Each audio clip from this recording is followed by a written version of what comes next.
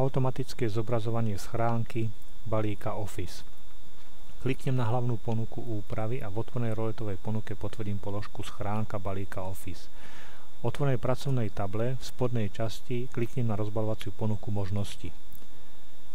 V otvorenej rozbalenej ponuke potvrdím položku Zobrazovať schránku balíka Office automaticky. Keď niečo skopírujem do schránky alebo prilepím, tak sa automaticky zobrazí obsah všetkých schránok.